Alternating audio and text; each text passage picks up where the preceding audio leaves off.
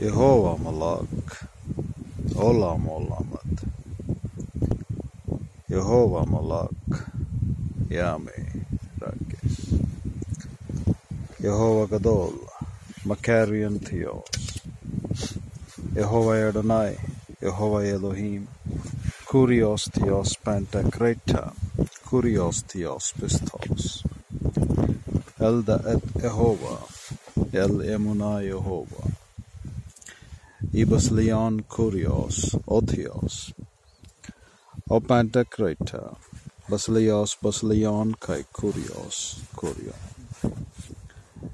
Jehovah Dabar Halal, Elohim Dabar Halal, Jehovah Elohim Gadol Gadol Gebura, El Elohim Israel, Jesus Christos, Ton Christon Ison Ton Kurion, Kurion Pneumahagion Pantocrator, Gadol Gadol Gebura, Jehovah Ishmael Khan, Jehovah Shammah, El Nakum Jehovah, El Nakum Yapa, Netzach Israel, La Sheker, Gava Gava, Triambos Jehovah, Jesus Christos, Pantocrator, Gadol Gadol Gebura.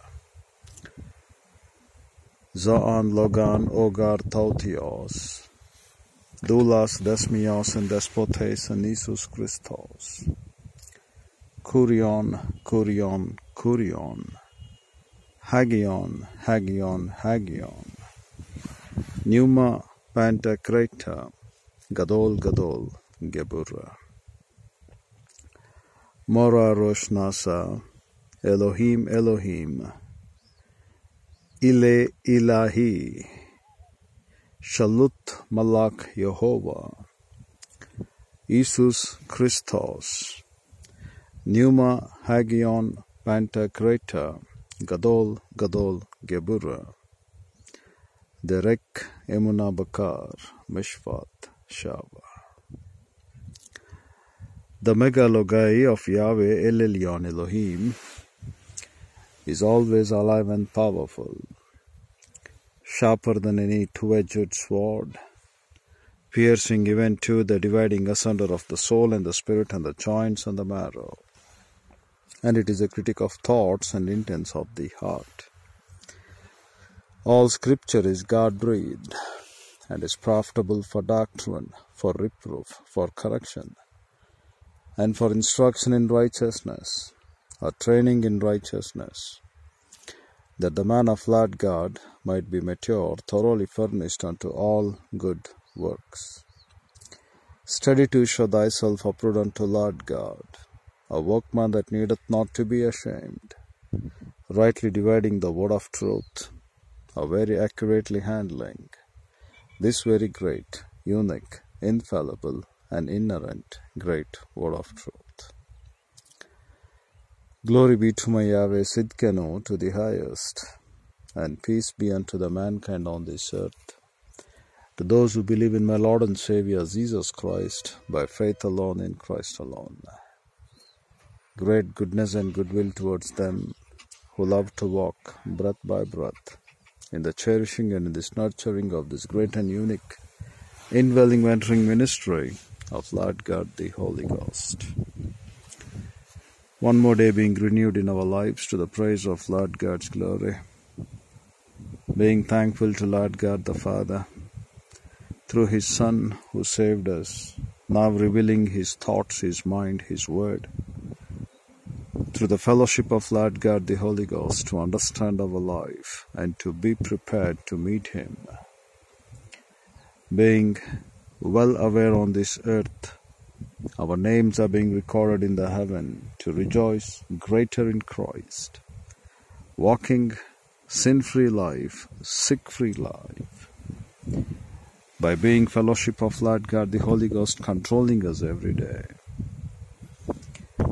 Before we could start the things which Christ our Lord our God has prepared and kept for us on today's date in eternity past, thanking Lord God the Father in the privacy, saying to God the Father that we deserve nothing, All glory unto Lord our God alone, since he has given us his word. Psalms 119 verse 105. When we read in verse 104, every false way I hate, the only true way could be taught by the word of God. No matter in the present Christendom or in the world, the wisdom of this man or the traditions of these people who have been teaching to you, rather than teaching to you the commandments of the word of Lord God. Yet God the Father is being so faithful in granting us every day His prescribed portion for us, so that every day when we take the word of Lord God in our lives, we really learn the meaning of this life and we powerfully execute being thankful to God the Father for this grace, the unique calling wherewith he says, Truly as I live, in Numbers 14:21, the earth shall be filled with the glory of my Lord. In order to fulfill that, he has given for every believer in the church age of this dispensation which we are going through to know the completed canon of scripture in the quo of the mind of Christ and learn and apply and do them.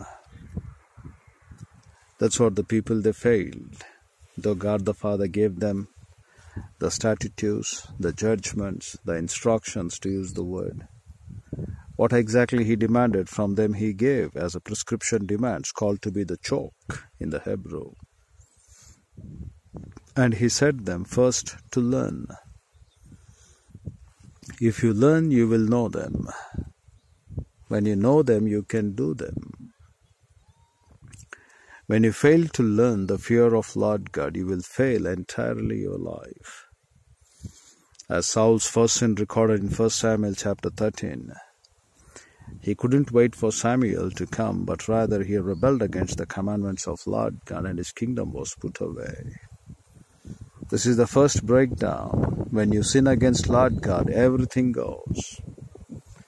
That's what we learn from the life of Saul over there in 1 Kings 13.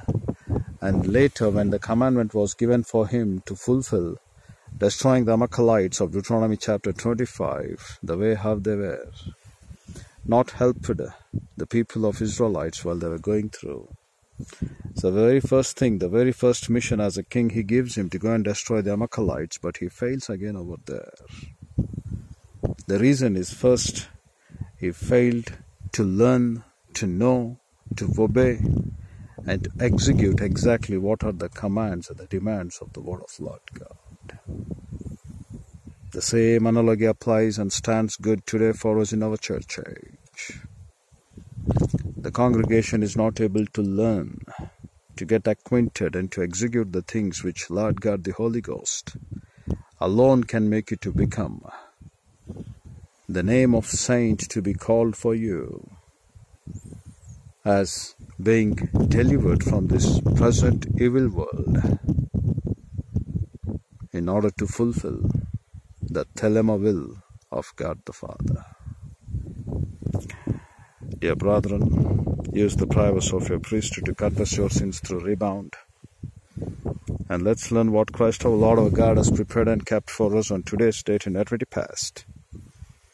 To the praise of his matchless, marvelous glory, which man on this earth can never understand if he ever fails to realize the life is in the Word of God, the mind of Christ, the voice of the Holy Ghost the completed canon of scripture, what we follow as Protestants, the 66 books. And if we go back to exegete day by day, word by word, line by line, precept upon precept, then we can truly understand how important it is for us to know that Lord and Savior Jesus Christ has given for us this opportunity on this earth to be in the flesh, to serve Him in spirit and in biblical truth. As the psalmist prays in Psalms 43, Granted to us graciously, Lord, your grace followed with the truth. In 2 Peter 3:18, Peter writes for us in his classical epistle, grow up in grace and in the knowledge of Bible doctrine. The same thing he prays in Psalms 43, grant us graciously, Lord, thy grace and truth, so that we could be well qualified to make a meaningful life, not like the life of these animals who are going to die, or the men who are going to be like the wicked deliverance, as he prays in Psalms 59. The dogs which make noise in the streets, not that life, but to live a true life in Christ to glorify Him to the highest. So, dear brethren, use the privacy of your priesthood to confess your sins. Let's come back and learn what Christ our Lord our God has prepared and kept for us. On today's date, in eternity past to the praise of His glory in His matchless, marvelous, infinite grace. So sanctify yourselves to look the great pale and unique wonders of this great and unique word of my Lord. Infinitely divine Holy Father, once again we come unto the grace of Lord, being thankful for this privilege you have given to us to study through the word.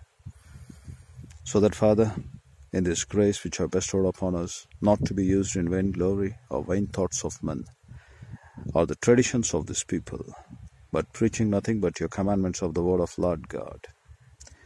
We pray as we study these things, the mentoring ministry of Lord God, the Holy Ghost, will enlighten and challenge us for the furthermore to stand firm in your calling and make the things that which are pleasing unto thee and nothing else than that on this earth. Father, if our lives are not pleasing unto thee on this earth, Lord, remove our lives on this earth. We don't want to add or grieve or squelch or vex or lie or resist, Lord God, the Holy Ghost, through our lustful patterns of the old sin nature. But rather, Lord, being put to death the old sin nature, help us to live a life sick free, sin free. Since we live a life sin free, no sickness unto us. So, Father, as we study the things which are given for us on today's date, being thankful for this privilege, we pray the mentoring minister of Lord God, the Holy Ghost, to enlighten and to challenge us by this message. In Christ's name we ask, Sovereign Lord. Amen. In Proverbs chapter 2, to understand the righteousness of God, His judgment, and His equity, which is every good path, he says, first wisdom should enter into your heart. And when wisdom is entering your heart, then knowledge is pleasant unto thy soul.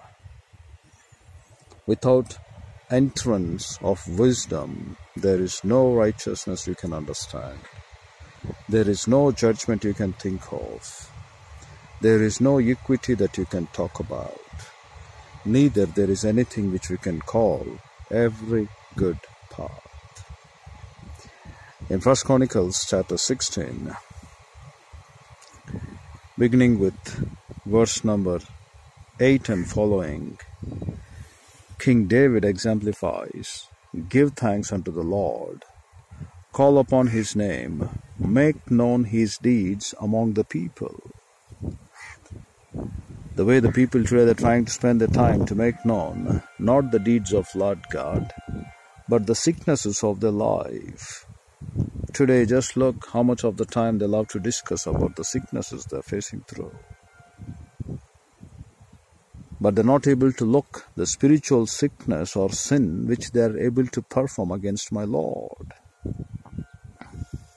You're making known the deeds of your sickness among the people, but are not able to give thanks unto the Lord God.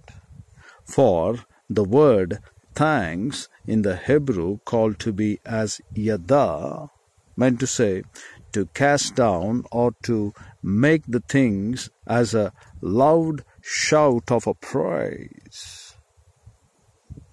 That means not just the mental behavior of the people who love to shout, no. But the loud shout of the praise over here meant to say doing the things in decent order shining forth the energy of your hand like a scribe. so that you're able to get your every perception according to the word of Lord God.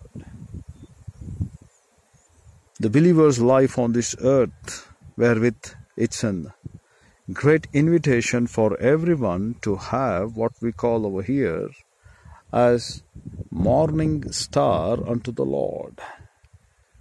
You know, the classification of the believers tomorrow, though we have been given equal privilege and equal opportunity on this earth in the fellowship of Lord God, the Holy Spirit, with the standards of spiritual IQ being the same.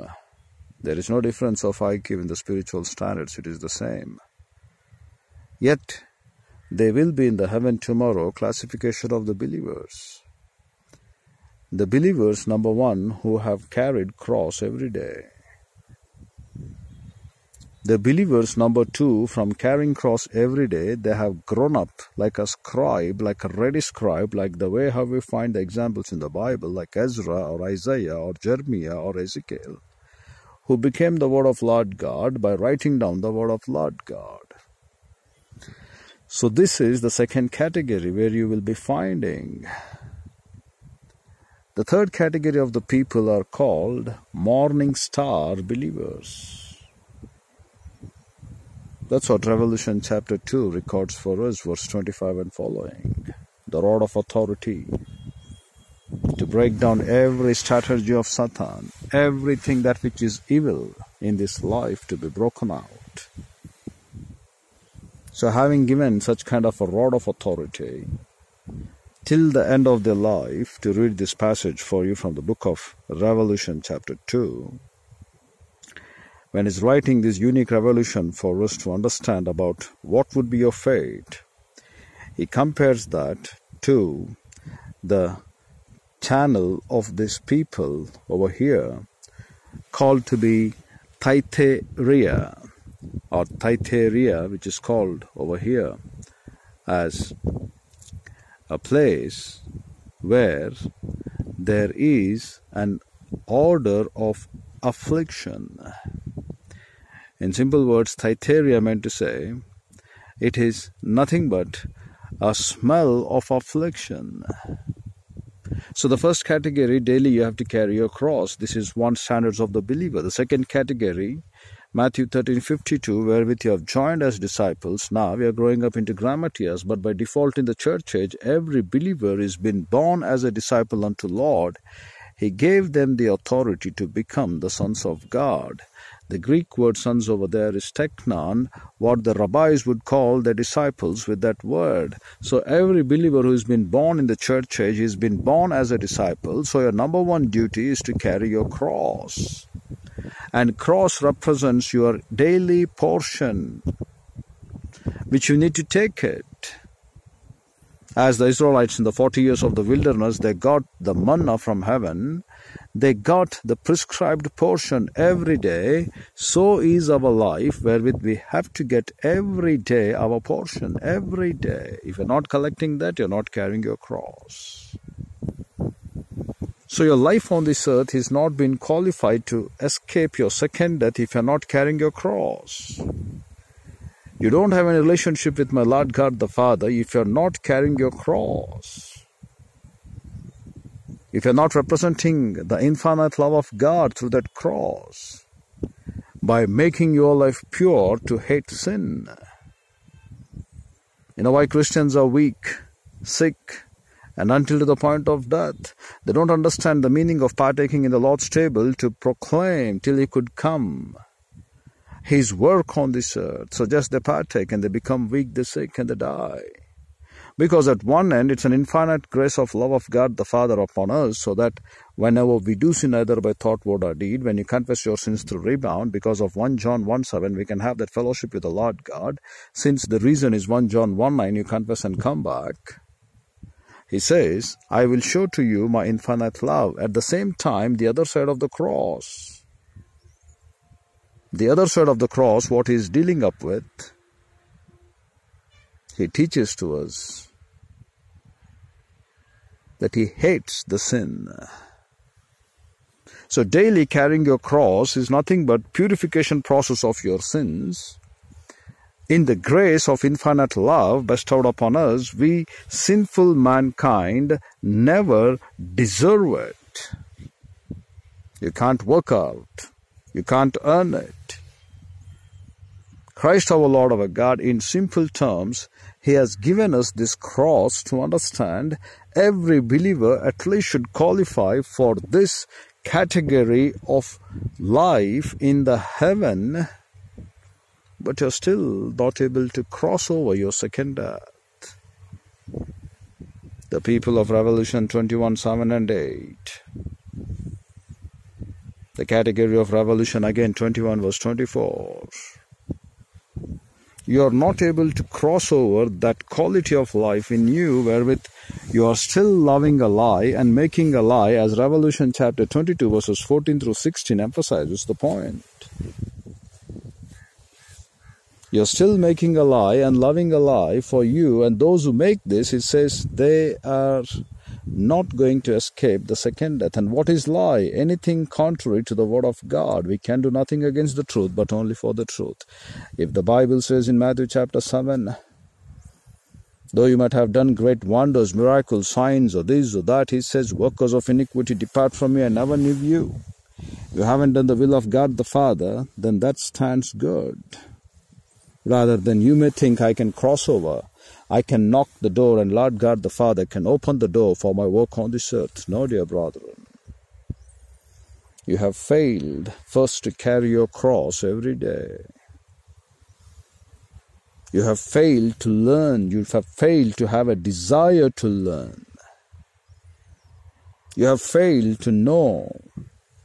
The way have you sowed today to the grace given to you, the same thing will be reflected back for your life.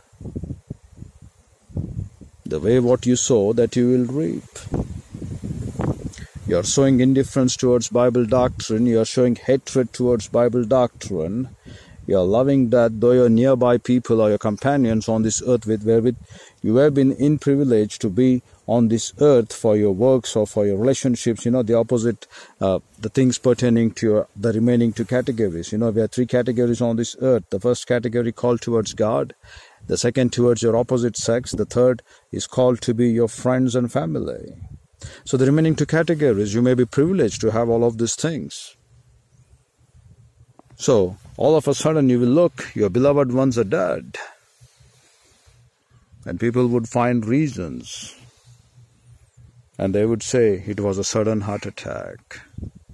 Some would say the sugar levels were high, that he was more diabetic.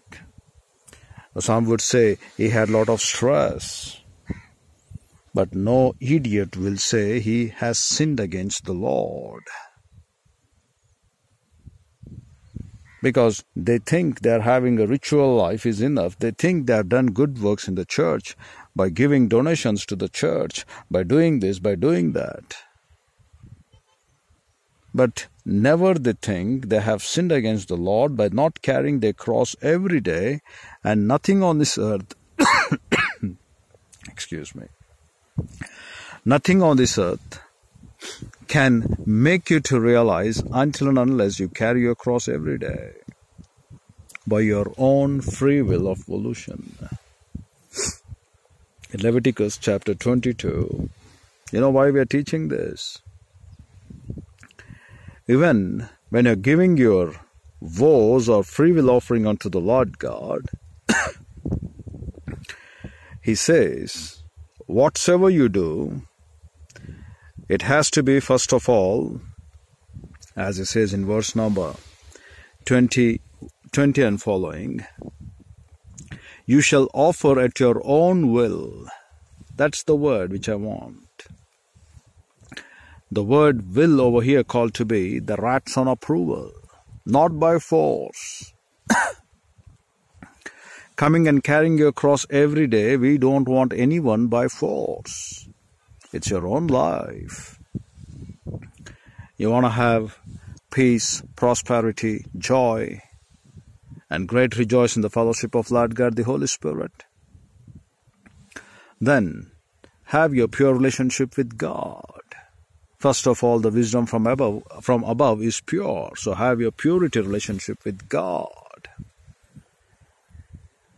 if you want to think the grooves of what to call to be the word as fetishes of happinesses which you're building. If you think the fetishes of happiness is if you have a lot of money, you have a lot of influence, you have a lot of this, lot of that, and you think you can have peace and prosperity on there, then really you don't have the ratson approval of Lord God. That is not by your own free will you are carrying your cross to Christ. You just become like a nominal, convincing professional Christians wherewith you love to become. Weekly ones to the church, monthly ones to the Lord's table, yearly ones to the standards of the festivals what we Christians celebrate on this earth. So he says, the first thing over here, you shall offer at your own will. The word for will is called ratson approval. And what does it meant to say? You crush off everything that which is contrary to the word of God. And you come to give your whole soul, mind, and spirit. So, first, in order to do so, what you will do? You will renovate the standards of your thinking by casting out every pressure of life. That's very, very simple.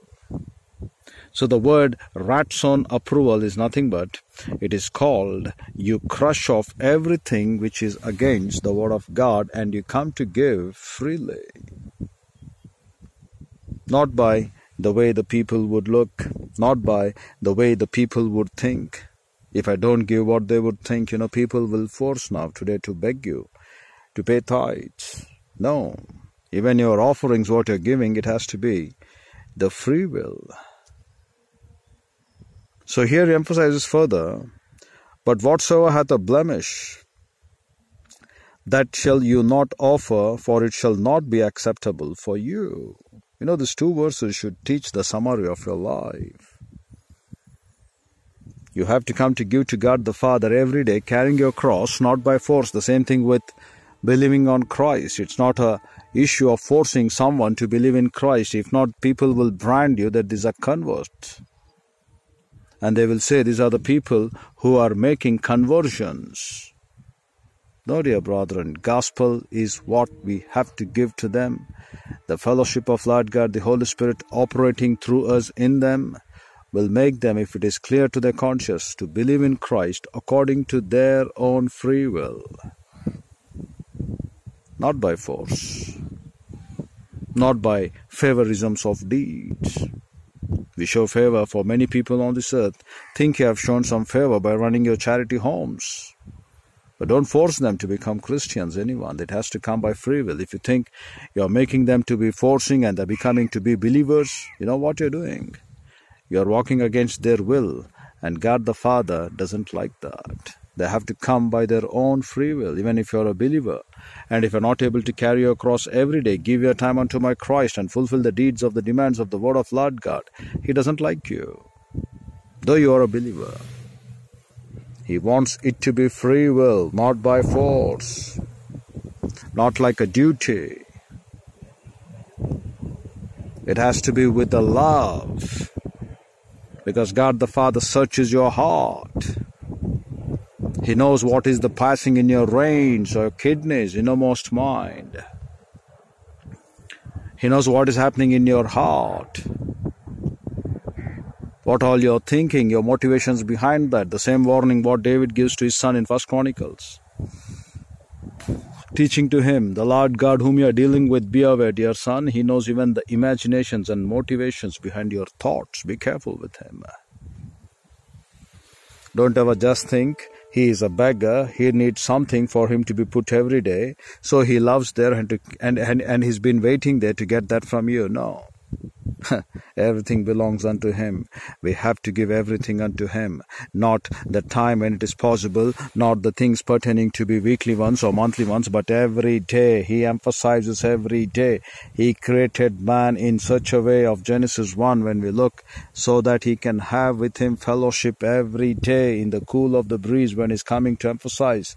The point over there in the realm of Pneuma, He is teaching to us, or Ruach, what He's teaching to us, every day He wants to renovate the standards of your thinking, not and never weekly ones, every day, every day. He wants to be with you moment by moment, fellowship. So He has given to us the indwelling mentoring ministry of Lord God the Holy Ghost, not by force, but by your own free will. And anything which is counted to be blemish, you know what is the word blemish? The word blemish over here we read called to be moom. Moom meant to say having that which is corrupted in your blood. Anything which is considered useless or without value.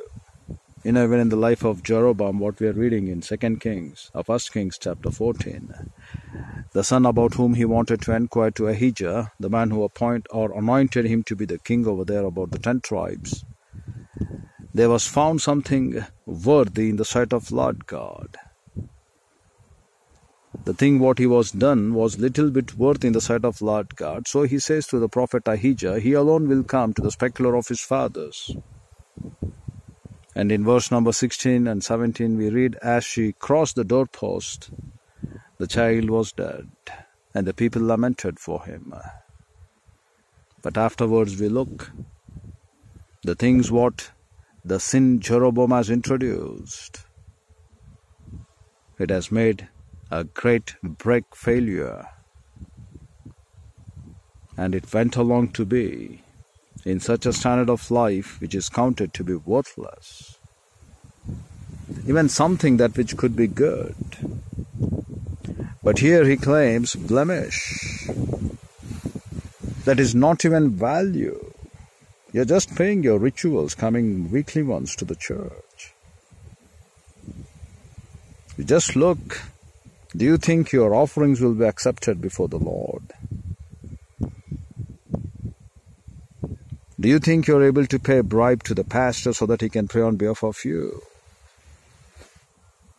But the traditions of men which have been introduced, they are making to each and every brain on this earth, particularly the Christendom, the pastor needs the money, the flattering titles men need the money,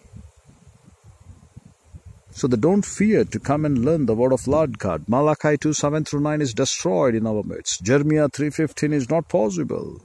Acts chapter 20 verses 28 to 32 to teach the entire counsel of Lord God and to be pure from the blood which could be upon your own head. It's not at all possible. Because Ephesians 4 11 through 13 kind of pastors have not come for our pulpits yet. If not, they would train you up every day. If not, they will teach to you the counsel of Lord God. Jeremiah 23 18 through 22. Like people, like priest, as he claims in Hosea 4 9, such is the congregation today because on the face it is the pastor talking, but behind the pastor it is the committee that is controlling it, is executing its mind. And the pastors, they are not the pastors, but these are entertaining clowns. And this man, when they're standing in the pulpit, it will be like the sin of Saul, what he did in 1 Samuel chapter 13, not waiting for Samuel to come. And as the way Jeroboam introduced to them, who were not even from the tribe of Levites, whosoever consecrated, they thought they could be the priests. A worthless people, low cadre of people. And when he introduced such men, twice it records the Bible, when he introduced such man, even in second, in First Kings chapter 13, the last two verses, we find that. When he introduced such categories, such sections of men, quite obviously sin will be more. The same thing what we find over here for us in the book of Judges, chapter 17, about this Levite, Bethlehem Levite, or the person who was half Greek and followed by the other category of Levite though it is a short chapter of 13 verses, it teaches to you, saying in verse number 3, and when he had restored, that is what first his son takes away 11,000, uh, 1100 uh, shekels of silver. And then he comes back, he says, we read from the beginning of the words, and there was a man of, uh, of Mount Ephraim whose name was Micah. So he said unto his mother, The eleven hundred shekels of silver that were taken from thee, about which you, you have cursed it, and spakest of also in my ears, Behold, the silver is with me. I took it, and his mother said, Blessed be the Lord my son. And then she's taking about the word Jehovah. That's what the word Lord meant to say over here, the tetragrammaton. And when he had restored the eleven hundred shekels of silver to his mother, his mother said, I had wholly dedicated the silver unto the Lord from my hand for my son. For what? She, she says now, to make a graven image and a molten image. Now therefore I will restore it unto thee. You know, she's using the word again over here, dedicated the silver unto the Lord from my hand, but for the work of graven image and molten image. And Christ our Lord our God, he says in the Ten Commandments, no form of anything about him. Using the name of Jehovah today as well, people are practicing traditions rather than the commandments and the demands of the word of Lord God. That's very, very pathetic for us to note. The same thing over here, what we are looking. Jeroboam introduced to such kind of a man that sin was being found. And that God the Father gives him if there is anything good on your behalf. But what you are able to find today, he says, you are of no value. The sacrifice is what you're giving, the offerings what you're giving, it's of no value, it's absolutely blemish.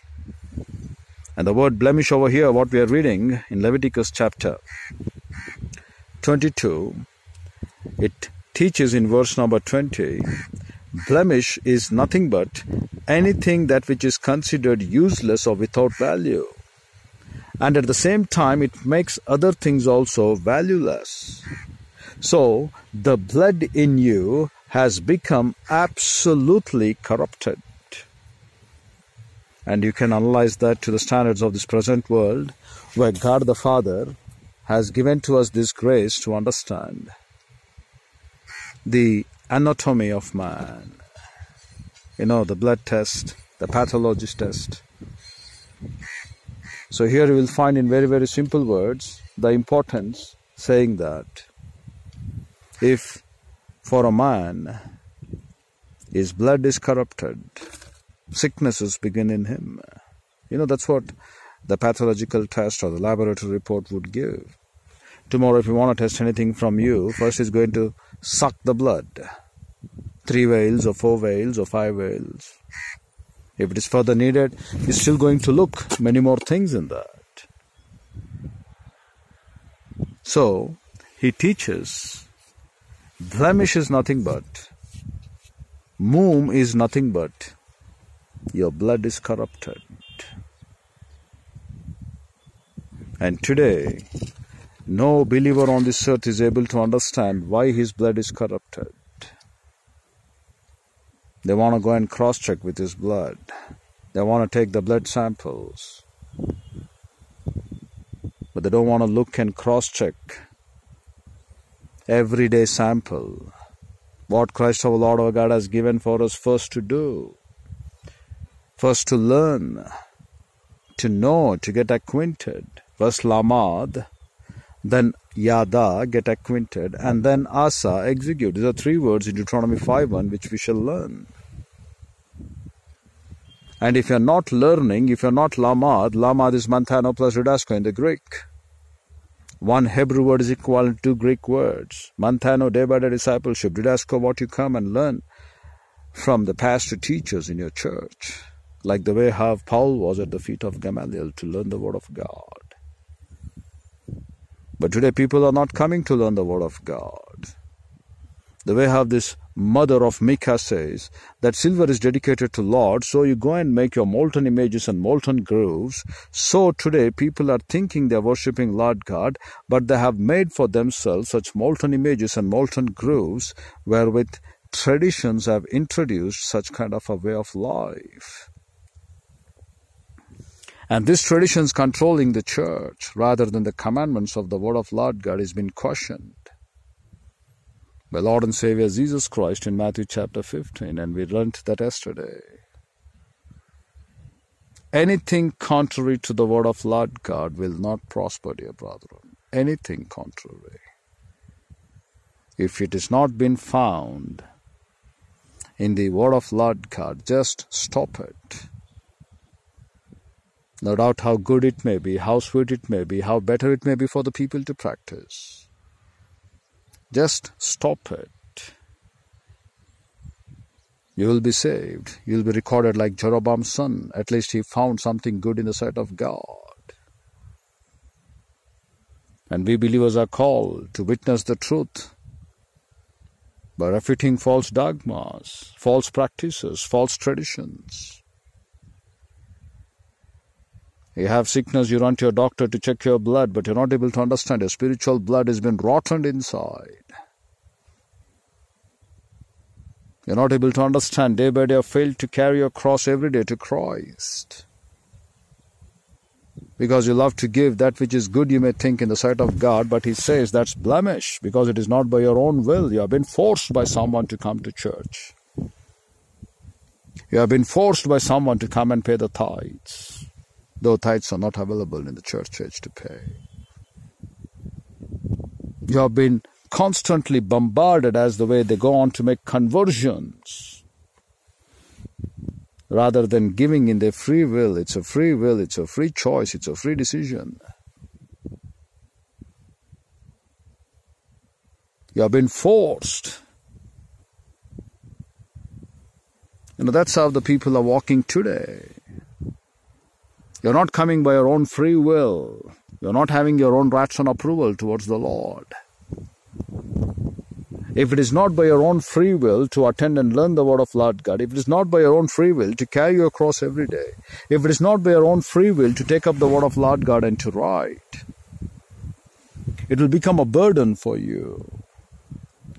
And Lord and Savior Jesus Christ hates that burden from you. When you consider indifference towards my Lord,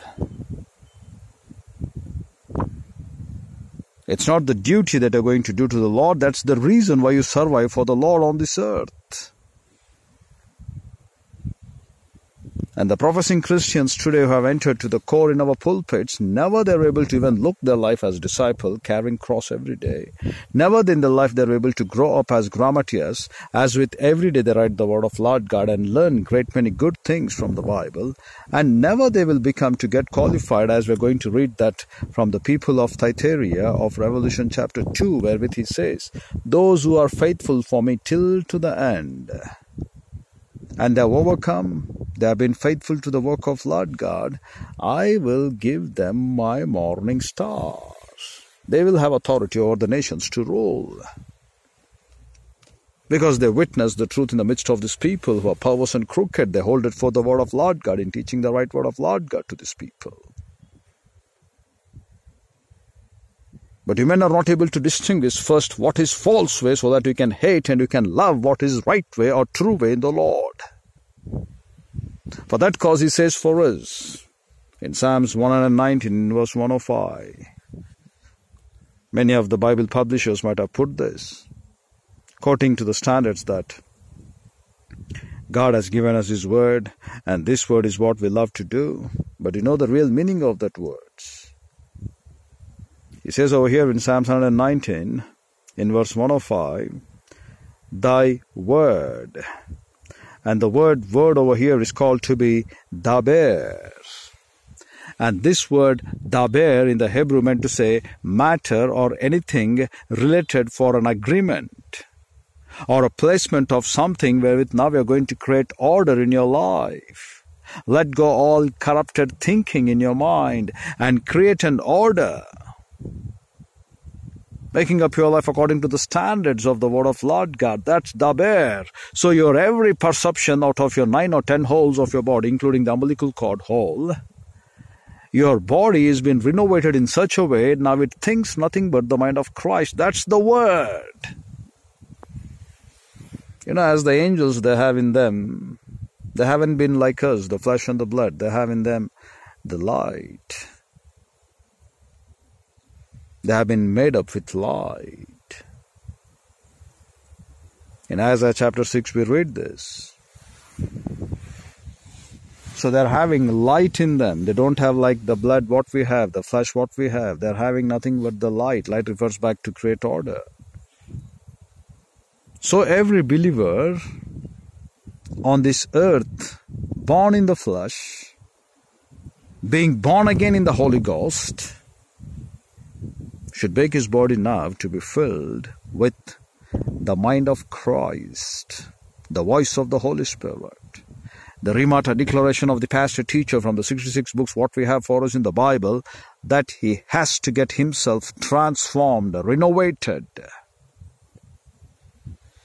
That's why we have been kept alive and nothing else than that on this earth for our business to be continued. Because apart from that, as we read, what can I pay back to God the Father for all the benefits He's been doing unto us? Psalms 116, verse 12. So, what does He say now?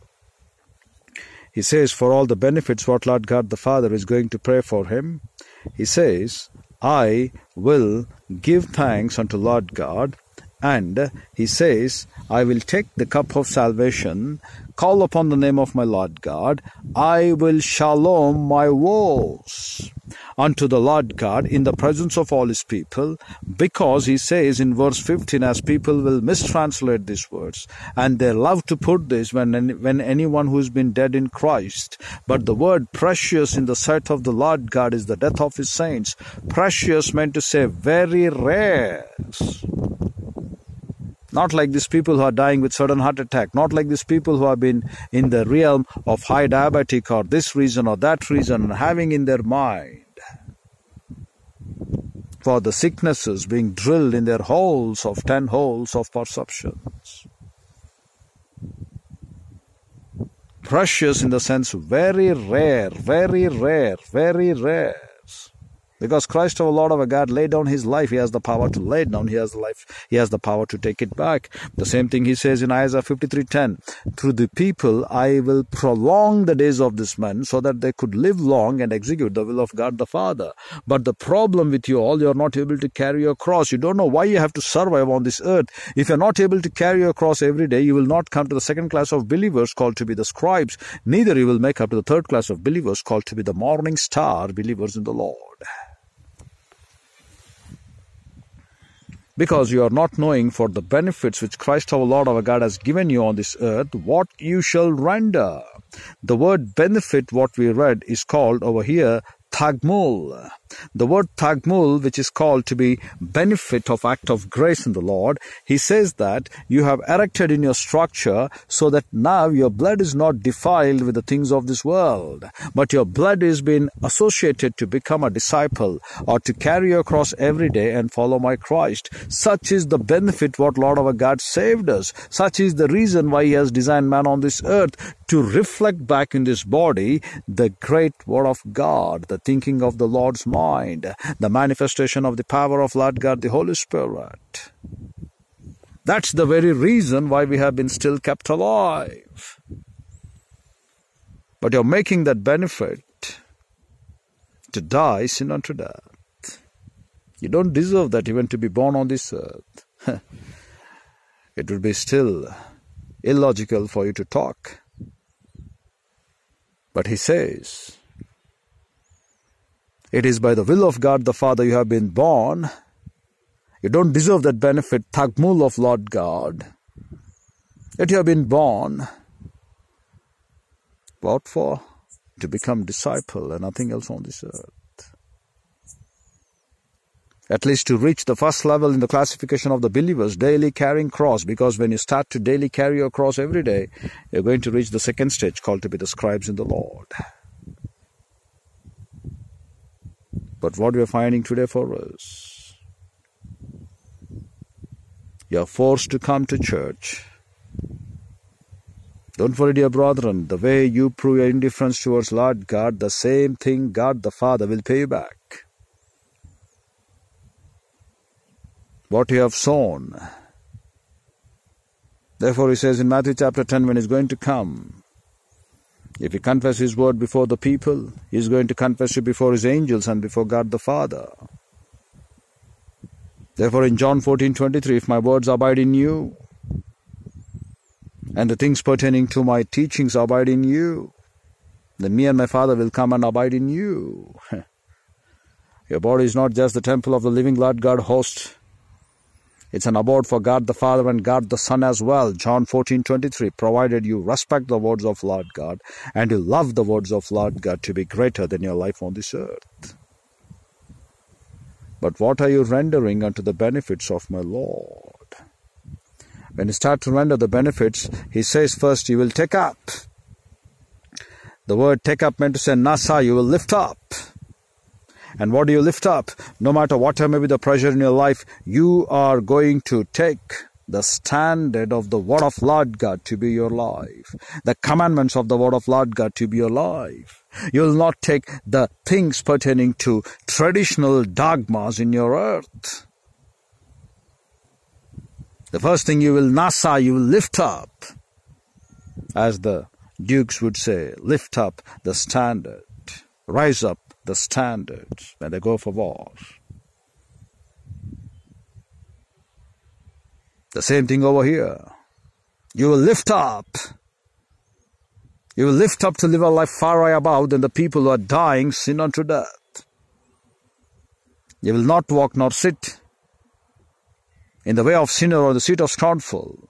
But your delight will be all the time. You know, where's your delight? In the meditation of the word of Lord God. Such are the category of the people where God the Father wants to seek. You'll not waste your time in wicked behavior. You will be in the realm of the people wherewith you would love to meditate upon the word of Lord God. You know, as Ezekiel was told, the delight of his eyes was his wife. So many people will have many delight things in the grooves of fetishes of happinesses on this life.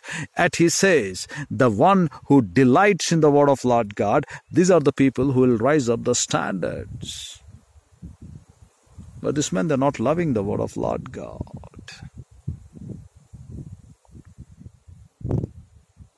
Though it may seem to be tough time, the grace of Lord God tests us as well, whether we preach or not to these people.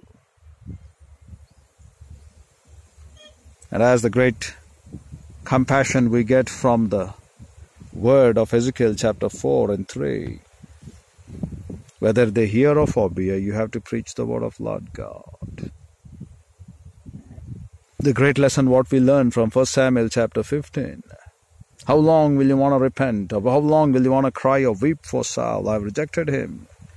Go ahead, I have prepared for you someone who is going to fulfill all the complete desire of my heart.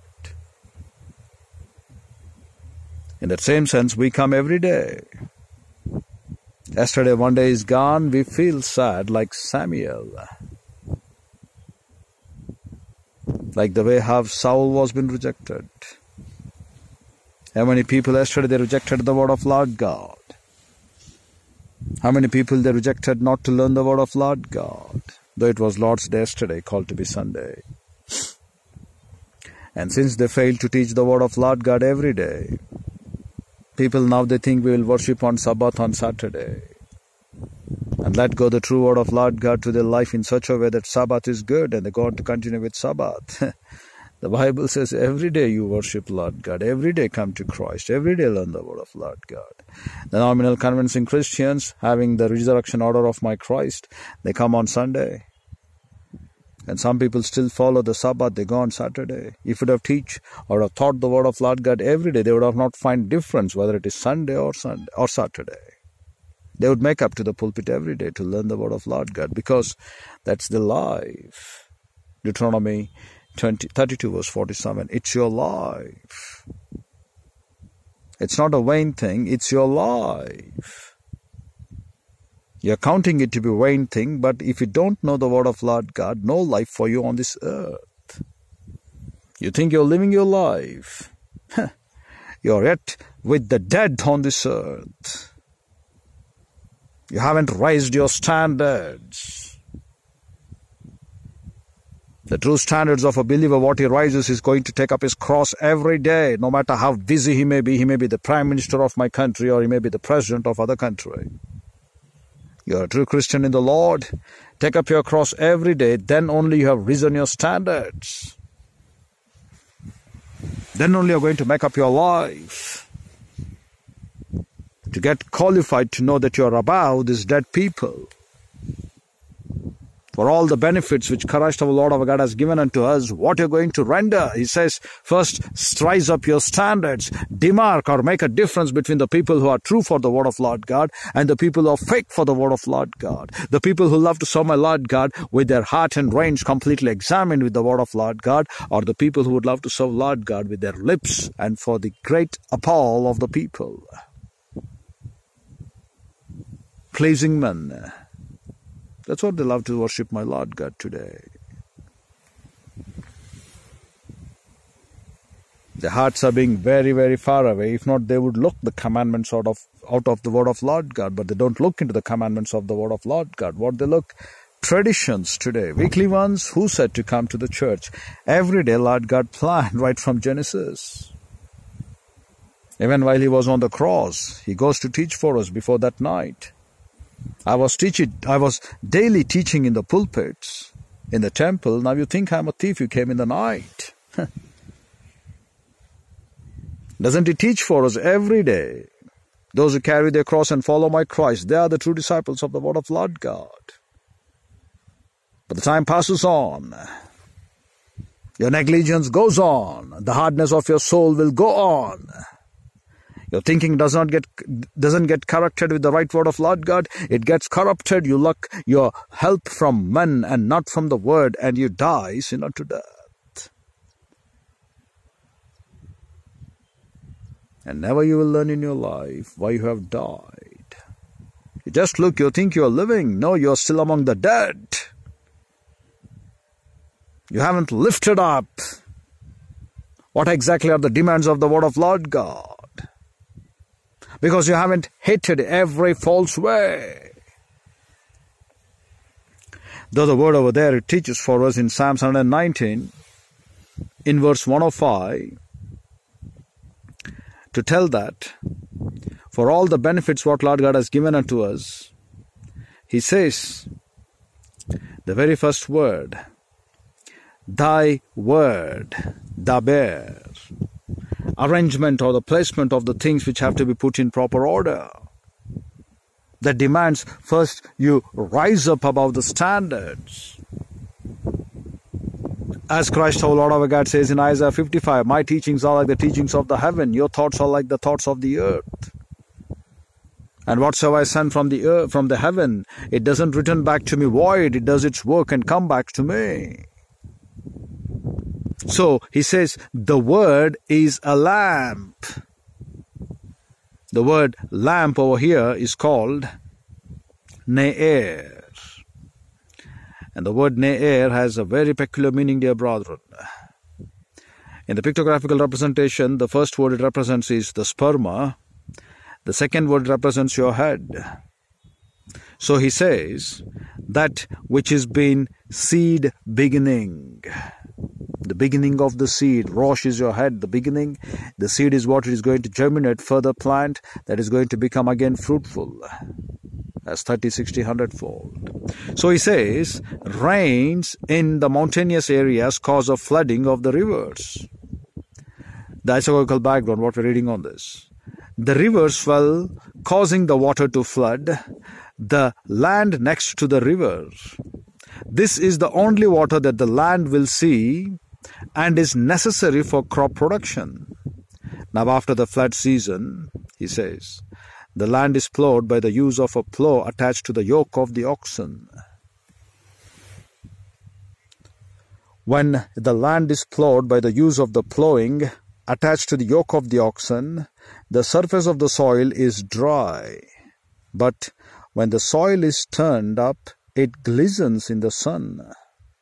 From the water remaining in the soil. So, this water is necessary for the seed to begin germination. The floods of water is what the Bible doctrine is all about. Storing that Bible doctrine in you taking the yoke of the burden of the Lord God with the plow, as he says, no man is fit for the kingdom of Lord God if he turns his hand from flowing. In Luke chapter 1, we read that. Or 9, Luke chapter 9, verse 62, we read that. Any man who puts his hand back from plowing, he says he's not worthy to the kingdom of God. That's the very simple logic. So now you have the floods of water stored and kept for you and then the season is gone. So now what you take? You take your plow where it is attached, it attached to the yoke. And the season is gone in the sense of Ephesians 2. We look, the apostles and the prophets, they have done their work and now the church has been built on that. So you have the flood of waters for you through the Old and New Testament of the 66 books being recorded and kept for us. So now it's your duty to plow your land, to break up your fallow grounds, to take up your uh, yoke of the oxen. And when that land which you're going to plow up, he says, when the soil is turned up, or when the plow breaks up the soil, it glistens up in the sun. And now, because of the water remaining in the soil, so this water is necessary for the seed to begin its germination but you're not taking your plow. That's what we find out here for us in this verse. Luke chapter 9, in verse number 62, it has to be for us. And Jesus said unto him, No man having put his hand to the plow and looking back is fit for the kingdom of God. You know, this is a call of discipleship where he's asking them, he's examining them what sort of people he would be.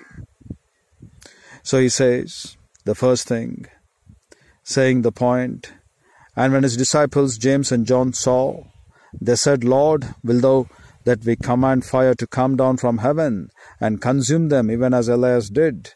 But he turned and rebuked them, saying, You know not what manner of spirit you are of. That means the fellowship of Lord God, the Holy Spirit, even the subjection of the spirits, he says that is nothing. Rejoice, your names have been recorded in the heavens. So why you worry about idols? Because every idol has a demon behind that. So the food consecrated, he writes in First Corinthians for us to learn. Having great faith, if the person is not having that faith, he will fall off. So because of him, you don't eat that food. But since you are being strong in faith, even if he is also strong in faith, he knows that the things pertaining to idols are nothing. So you can eat that, he says. And that requires your great morning star of rank. The morning star refers from morning 3 am to 6 am, where the people will spend their time in meditation. But today we don't find from 3 am to 6 am because till late midnight people would love to spend their time in the smartphones and they wake up at early morning 11 o'clock or 12 o'clock when half of the day is lost. First of all, you're not carrying your cross every day. You're not becoming scribe far as we can think, you will become a morning star believer to the Lord.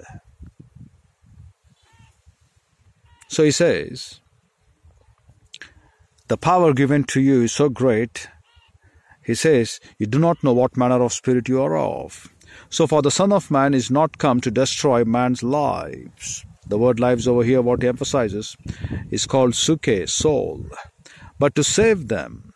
And they went to another village. And came to pass as that they went in the way, a certain man said unto him, Lord, I will akaluto.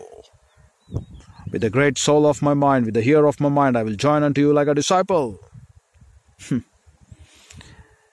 Lord said, and the man said unto him, Lord, I will follow you wheresoever you go.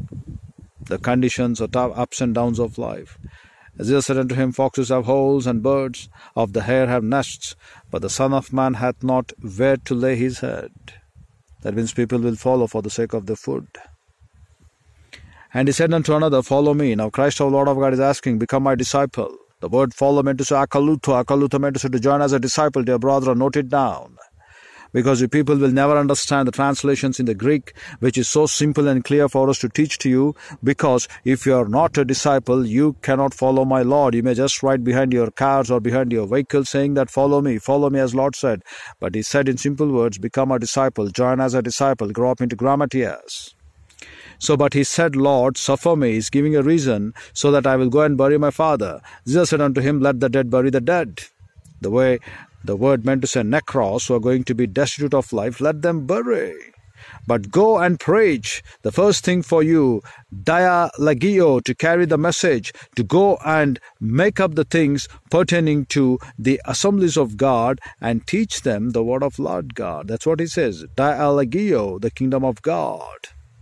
Another said, Lord, I will follow thee. That means he will become a disciple. But let me first go bid farewell, where which are at home, uh, which which are at home at my house. So the bid farewell, nothing but to say, I will just set apart and I will say goodbye to them. And Jesus said unto him, no man having put his plough hand or putting his hand to the plough, looking back, again the word looking back meant to say over here that he is blapo he's able to discern. Now he's able to look with his bodily eye. And where does he look? He's looking into the towards nature of past life. Again the life wherewith he has been living for the details of this earth. So he says he cannot be fit.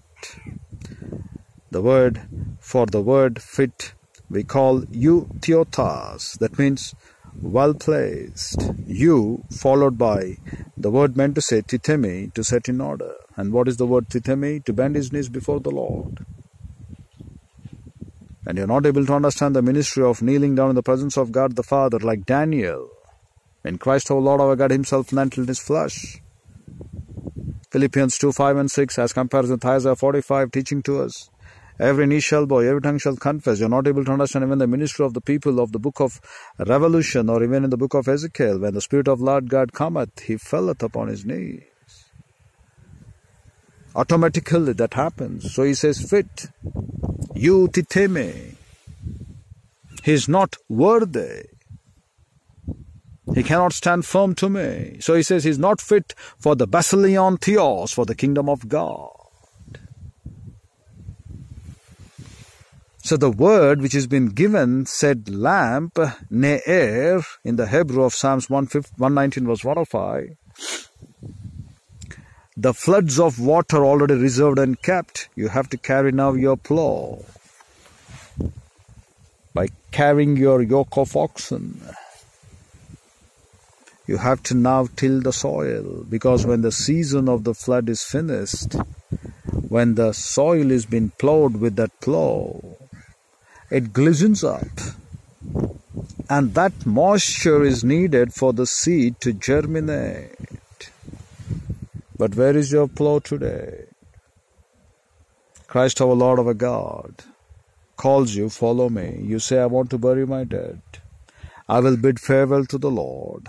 You know, you're giving reasons to my Lord.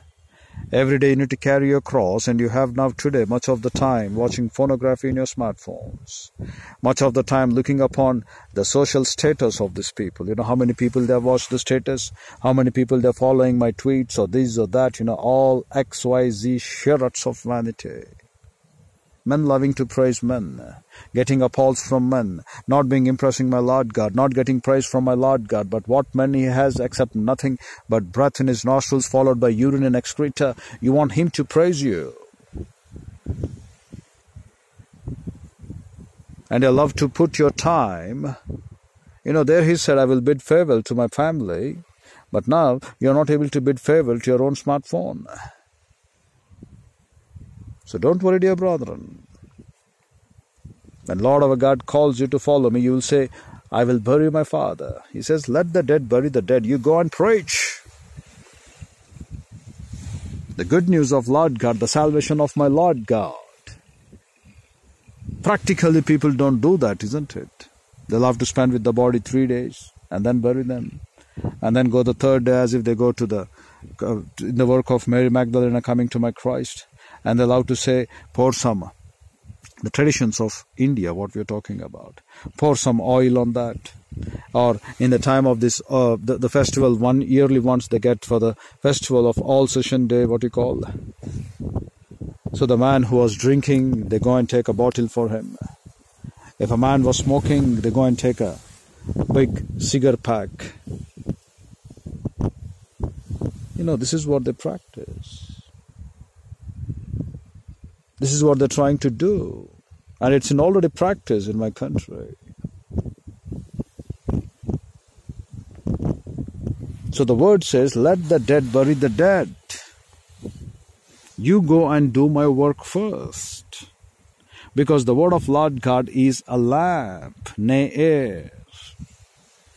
When you fail to dig and take every day the word of Lord God as ne'er, Never in your lifetime you will understand that the renovation of the standards of our thinking, Romans 12 1, 2, and 3, is the health, is our life, is our authority to live on this earth.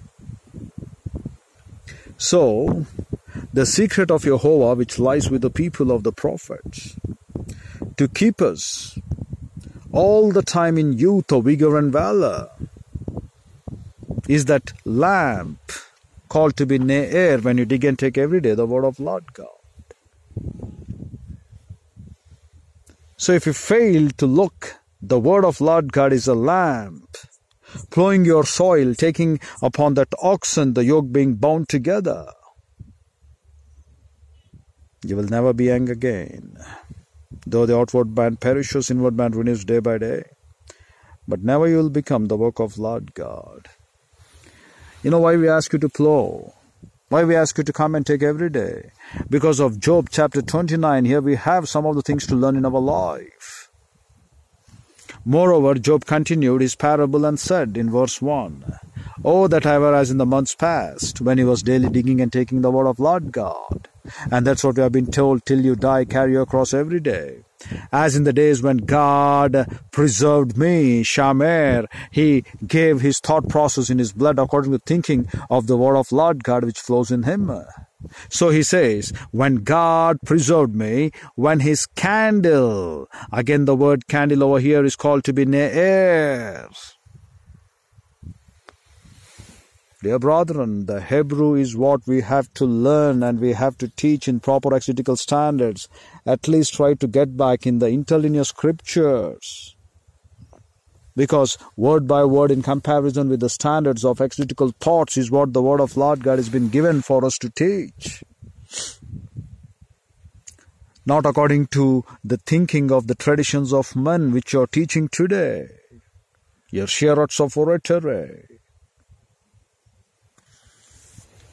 So he says, when this ne'er again when i was taking that plow when i was been taking into that ox of the oxen where i have been come to touch the surface which was dry. But when the soil is turned up it glistens. That is what when you till the soil it glistens up in the sun from the water remaining in the soil. And that water is necessary for the germination of your seed. And that germination of the seed is nothing but the word of lord god which gives you that vigor and valor to be greater than moses the way how he lived his 120 years of life on this earth you cannot become weak. You cannot become sick. You cannot become in the realm of even. His eyesight was not dimmed, neither his body vigor was abated, because he spent his time in the fellowship of Lord God, the Holy Spirit, breath by breath, and he came to dig and take the word of Lord God every day, breath by breath. Like Caleb, though he was 85, he had the vigor of 40 in him. So now Moses, though he is 120, he is even yet not even 60 years in the sight of Lord. He had such vigor. And people today they think by the age of 40 such and such, stupid man. The age of 40 is what you're going to have your vigor of life to marry. Till to the age of 112 years you can germinate. And scientifically this is what the people they are proving, you're not talking about the Bible. But Abraham, he lived 145 years. After the dead womb of Sarah, when it has been regenerated, he got married to Keturah again. He had five more children. Scientifically, the people prove it is 112 years. But here we have a record 145 years of life, what Abraham had. That's the seed. The seed is nothing but the word of God. That's by the faith what he walked in the sight of Lord.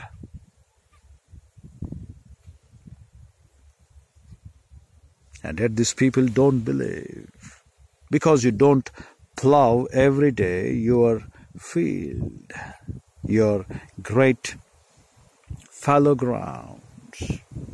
Because your fallow grounds have been tampered with untempered mortar every day. And since it has been filled up with untempered mortar every day, you don't break up your fallow grounds. Far less you even think, what is that lamp? So here Job he says, when his candle shined, the word halal meant to say, when I was very happy to be a disciple of the word of Lord God. You cannot have any happiness on this earth if you are not a disciple to the word of Lord God. True happiness comes, he says, when I am a disciple. Great joy. So when that candle shined, what does it make? It makes you to become the disciple of the word of Lord God. So where it shines, it shines upon your head. Rosh, meant to say your thinking and your thought process. And then the light wherewith I walked. When the word of Lord God is shining, you will, you will look some light. So in the Aleph energy, every day I have to renovate the standards of my thinking. It is like a light which is necessary for order, so that as the box is being stored up, where they keep in order, so this light I walked. Again, the word walked is called to be elak. Elak meant to say, as a disciple grown up into grammatias. Then he says, I walked through the darkness. Kosek, in each and every nick and corner of this life, you have kosek. The word kosek over here meant to say, the wall of fortification what they have built according to the thought process which is not scribal oriented which is not like daily carrying the cross which is not like daily writing the word of lord god. So he says kosek darkness. And then he says over here as i was in the days of my youth. And here the word days what we look meant to say every day in his blood what he's pumping? He's pumping the time of the word of Lord God as the word goes to say youth. What is that youth? It meant to say corrupt. And what is that corrupt? It's just the harvest time. As the days of my youth. So here, corrupt, what it's called to be, teaches to us that this Job right from his days of his youth. So what is the word youth? Corrupt. Corrupt meant to say a wall of fortification what he has built so that he can pierce through in his head and open up his mouth to talk nothing but the word of God. So the word youth over here refers back to the things pertaining to the way how we would be day by day renovated, though the outward man perishes outward. Like Moses, we have been given an illustration for us to have to pierce every sharp word of reproach. Because Satan gets the way how Christ our Lord our God was in Luke chapter 4, tempting him. In Luke chapter 4, verse 8, we look, Lord and Savior Jesus Christ saying to Satan, Get behind thee. We shall offer up our divine service only to Jehovah Elohim and nothing else than that. So, to pierce through the taunt or the reproach because you have been now betrothed to God. So he says, as I was in the days of my youth, when the secret of God, the word secret meant to say, no matter whatever may be the pressure in your life, if your thought perception process is in accord with the counsel of the word of Lord God called to be the sword, so when the secret is nothing but the counsel of the word of Lord God, which it is said to plant crops by setting up tents or structures, wherewith you have now the level piece of ground. That's the counsel, wherewith you're going to plant the crops or set up tents or structures. So he says, when the things pertaining to the counsel of Lord God was upon my tabernacle, the word God is called over here again, Yel, Yel meant to say the yoke carrying your burden like a disciple to the word of Lord God upon my tabernacle, referring back to this flesh. And that tabernacle over here, what he calls, is called as Ohel. Ohel is what meant to say, as a disciple, I grow up in grace. A great joy, your tabernacle on this earth, as we read that long back in Jeremiah chapter 10. He's going to extend your tabernacle on this earth. We read that when you are taking as a discipleship oriented, growing up into scribe, then you're having your tent on this earth. Till that time, you don't have your tent. That's why you fall off before the time, untimely deaths. And don't understand why such deaths have occurred for you. But the word over here is very simple. Why your tents are not been there? Because you are not becoming a grammatias to the Lord and as disciples to my Christ. And at what we look. Christ our Lord our God keeps you alive tomorrow. James 4:15 should be the theme of our life. He keeps us for our life a life which is oriented for the purpose of fulfilling the telema will of God in action. But where you're ending up your life, you haven't even had a tent for you established on this earth. You may be thinking, my physical body, my own home, what I've constructed will be the tent. You are morons. When the secret of my Lord God, he says, was upon my tent. What is that secret? The counsel of my Lord God. So that every day I was like a youth. Every day, no matter whatever may be the people who love to pierce me through sharp words, I never cared because the word of Lord God standeth and abideth forever, though the heaven and the earth will pass away. Having a firm foundation upon the word of Lord God, your days will be like days of youth. He said in Exodus 15 26 and 27, None of the sicknesses upon you, if you obey my commandments, if you learn them, if you if you practice them, and if you get acquainted with them. He said, None of the sicknesses shall be upon you. But you think the days of you have become old. No, dear brethren. If Caleb could say, I have that vigor and valor at the age of 40, at the age of what I had 40, though I'm now 85, it stands good.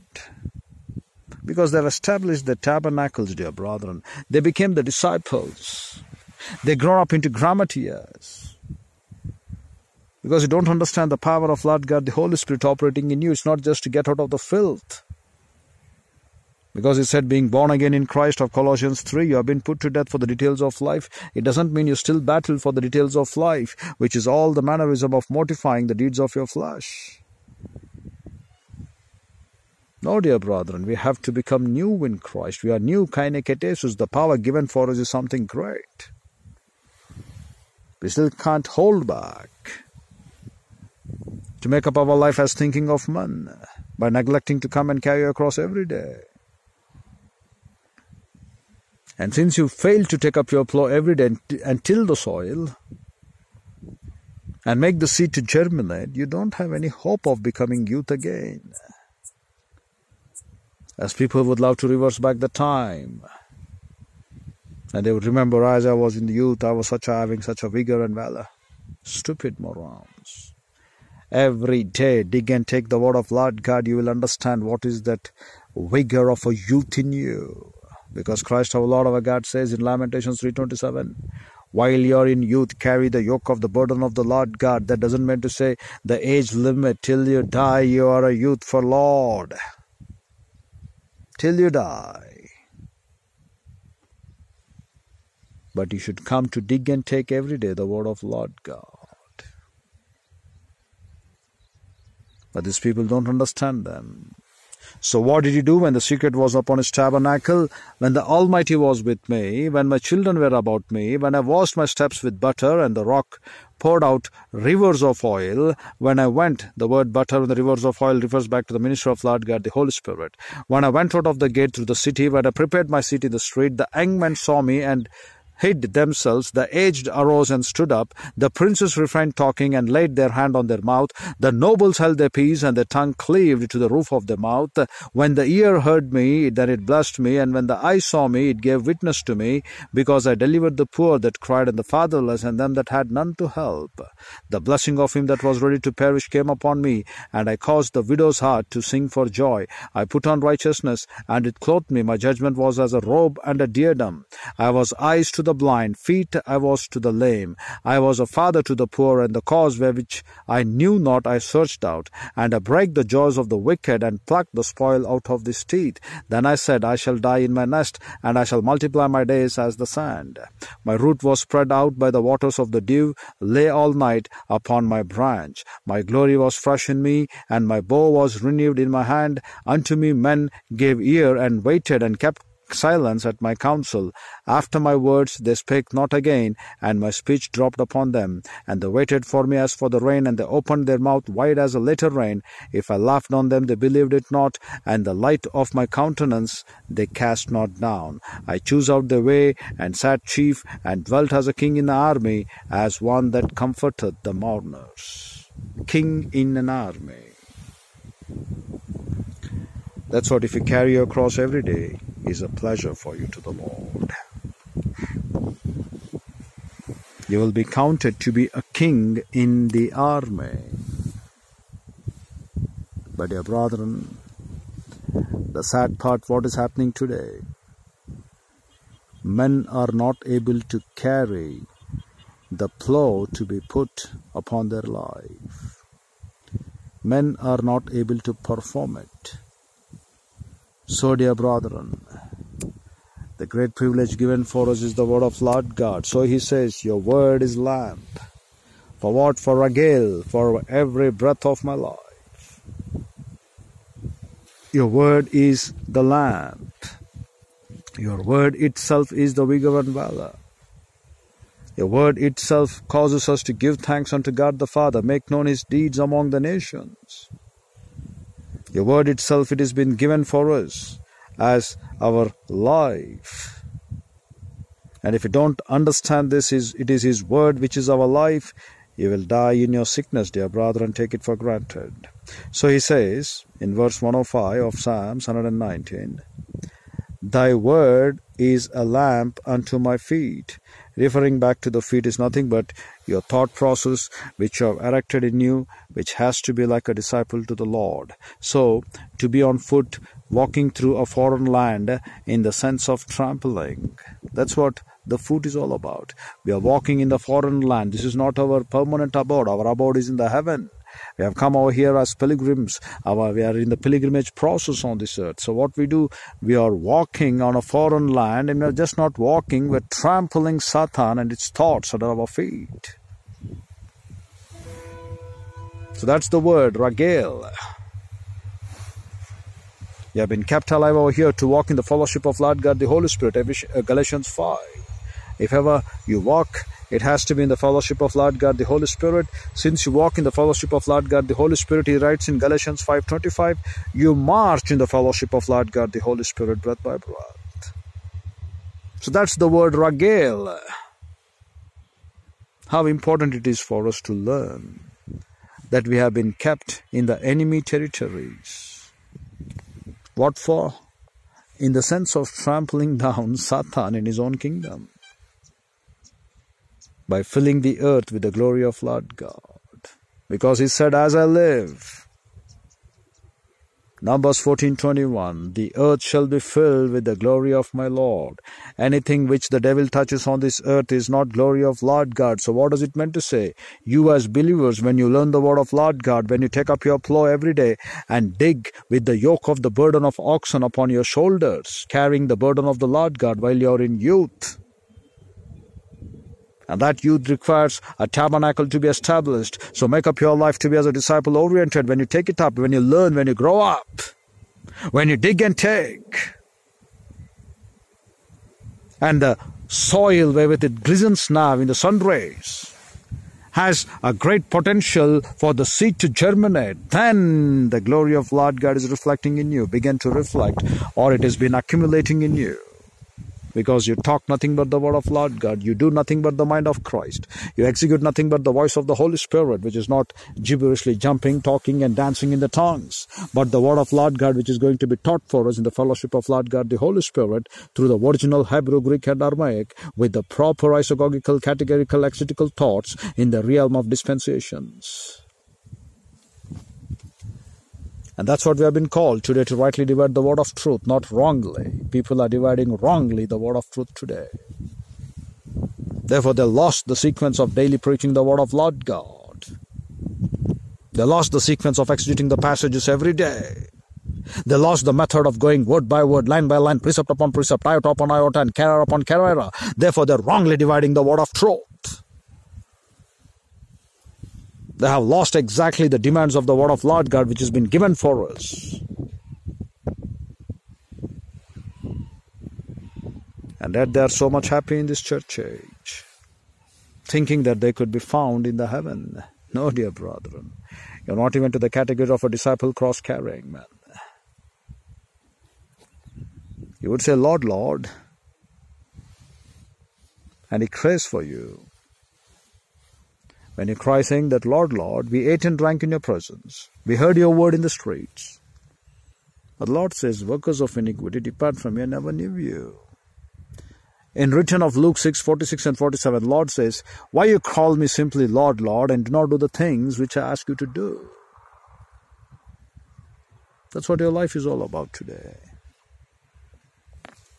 So, dear brethren, the things in the enemy land, what you have been kept, to get the glory of Lord God through your life, you have to first take up your cross, make it like a plowing instrument, put upon the yoke of your shoulder, dig the soil. Come to learn the word of Lord God. That's what taking up the cross meant to say every day to my Christ. Dig it, plow it. The seed should germinate there, and when that seed is germinating in you, that is the glory of Lord God shining in you. And that's when Numbers 1441 will be fulfilled. 1421 will be fulfilled, sorry. The earth shall be filled with the glory of my Lord.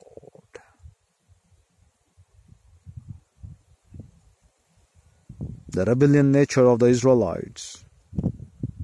God the Father, the same thing he looks in again Exodus 32.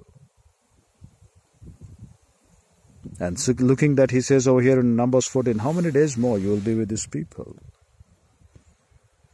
Both the occasions. He says in Exodus 32, blot out my name if you don't forgive these people. The same thing over here, again a chance given to him. With you I'll, get I'll make a great nation. What a great chance it would be for Moses. But he says, no Lord, your name. What the people would think. That you are not able to deliver them from this wilderness. You are going to perish these people. No. They would consider you to be Yakol Yakol Blatter, that you're not capable. Says, No, Lord, save these people.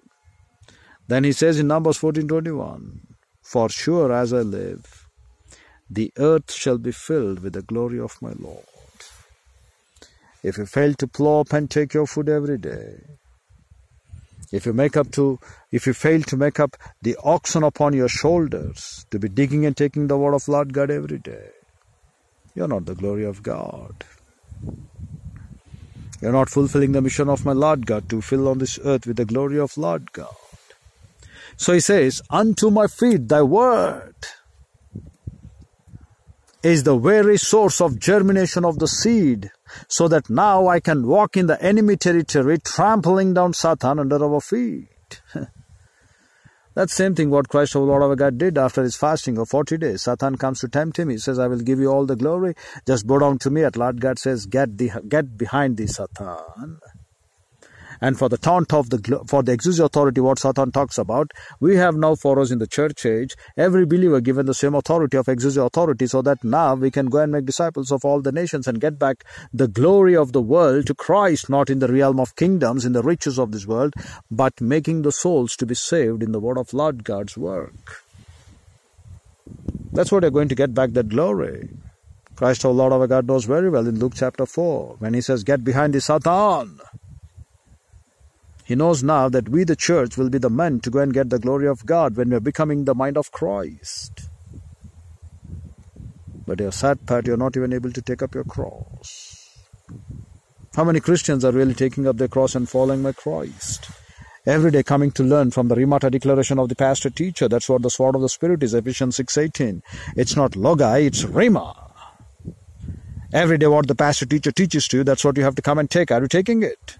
That's your only offensive weapon. The glory of my Lord God is not being properly reflected through you. The same thing what a warning was given to Isaiah. Up until now I haven't been declaring Christ as it is. So he claims, Lord, I am a man of unclean lips, because he has seen now when the name of my Christ has been mentioned over there in the heaven, the doorpost which has been firmly fixed by Lord God the Father in heaven, they tremble, they shake. But we here right now on this earth are mocking his name, ridiculing his name, rejecting his words, and say with our lips we love him, but your hearts are being very far away from the truth. And looking that he says, Lord, I am a man of unclean lips. Help me to teach nothing but thy glory. And being cleansed, he was saved. If not, he would have been put to death.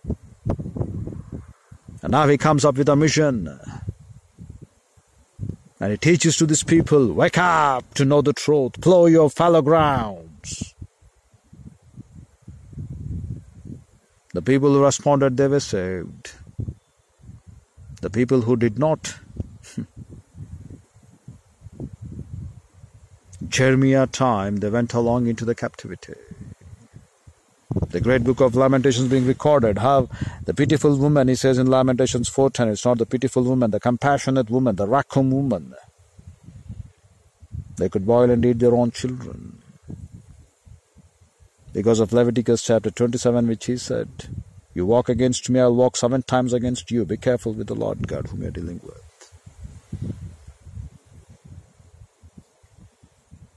And yet, in the time of the drought, they couldn't understand. So a silent gap of 400 years, then Christ, the Lord of God, comes to save them. They cannot understand Him as well. Because they never learned the fear of Lord God. rather than learning the fear of Lord God. They have been taught the fear of men in the precepts and the traditions of men. And since they have been taught in such a way, they cannot reflect the life of Job, as stated in 29. They can never become like the way have David states in First Chronicles chapter 16 verse 8 and following, a great song of praise to my Lord. Never in their lifetime they can give an instruction like Moses, though he said, Learn, get acquainted, practice the things what have you learned in life.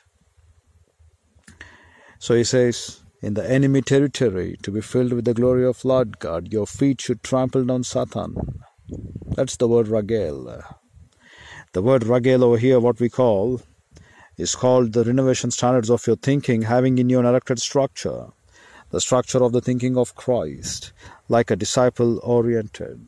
And then he says, a light unto my path. Again, the Greek, again, the Hebrew word over here called to be ore, meant to say it is the light of lamp, the light of life, the light of prosperity, the light of instruction. So this light, what we read over here, we meant to say, given for you to put the things necessary for order. If there is no light, you cannot put the things in order.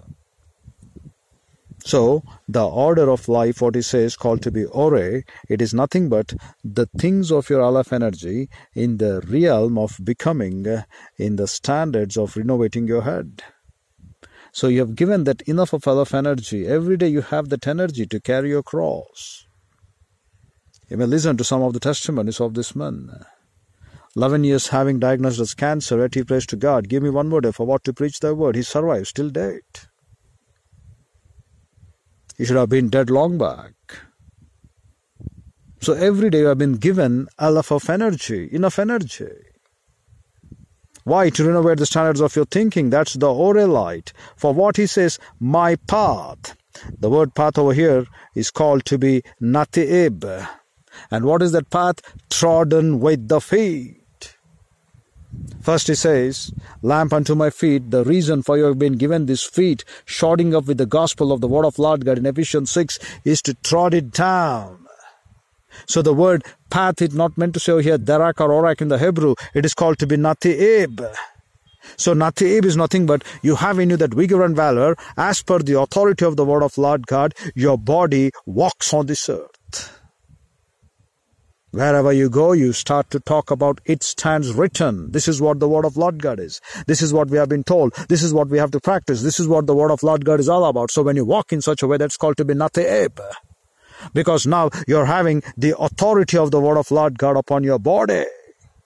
And when the word of Lord God has surrounded in your body, has taken that, when wisdom has entered into your soul, and the knowledge is a presentable thing for you, then the sicknesses pump out of your life. They just erase out. They just, because of the pressure of the word of Lord God, they leave your body. They cannot be there like the demons which was been there in the parable of Luke. The seven more wicked demons which came. So when the word of Lord God has entered, when you're going to become a wetland being filled with the word of Lord God, the demons live, the sicknesses go, the sin goes. But you're not able to recognize your sin first, but you're able to recognize your sickness first.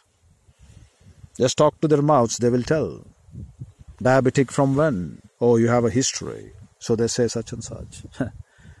but they don't know they are spiritual diabetic they don't learn that their hearts are being absolutely rotten by spiritual sickness. They talk about the cholesterol, they talk about this, they talk about that, they talk about the hereditary, but they don't look to understand the sin of a father is for the father, the sin of a son is for the sin. Now, individually, what you sin, that is going to be accounted for you. So, wake up from that sin and do the will of God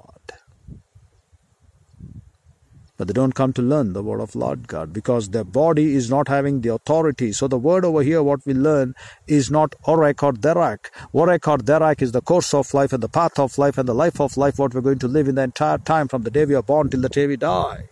But over here, the word nati'ib meant to say, having in you the vigor and valor to such an extent that you have been given authority from the word of Lord God that your body cannot be touched by any sickness. Satan cannot even touch you because you are living a life of sin free in your body, constantly walking in the fellowship of Lord God, the Holy Spirit, and walking in such a manner, in such a way of life, dear brethren, whether you believe it or not, without the word of Lord God, you think nothing. You get every thought into captivity for my Christ. Such is the path he mentions, Nati'ib. And if his word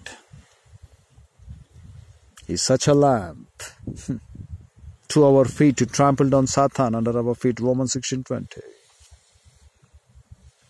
Though long back he writes in Psalms 119 verse 105, you are kept in the enemy territory to trample down every thoughts of Satan to destroy the works of Satan and fulfill the great glorious glory of Lord God the Father on this earth.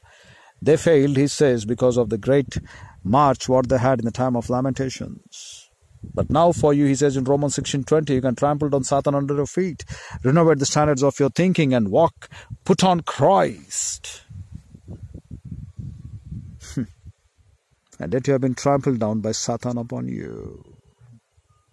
Because your feet is not been able to look and erect in you the structure of a disciple oriented life to my Lord.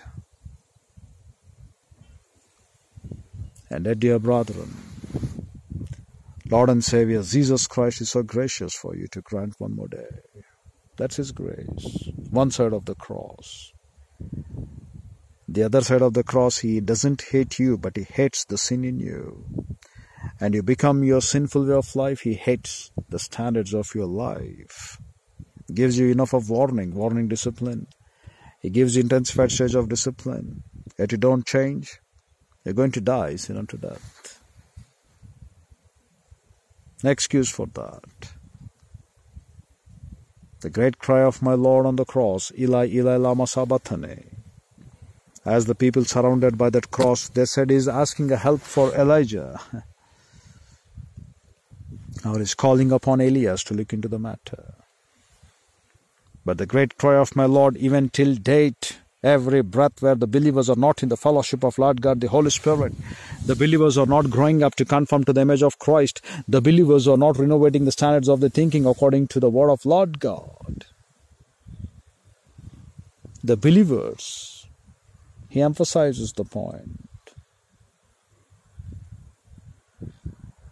you are still making my Lord to cry, Eli, Eli, lama sabachthani.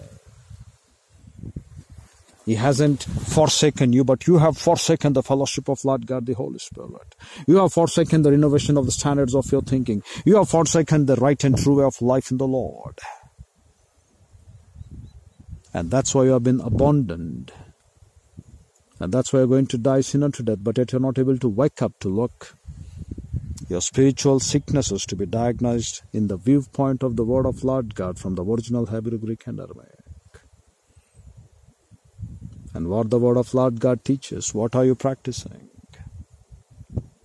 What the mind of my Christ executes and what are you preaching? And having little things, as the word says, little leaven leaven the whole lump.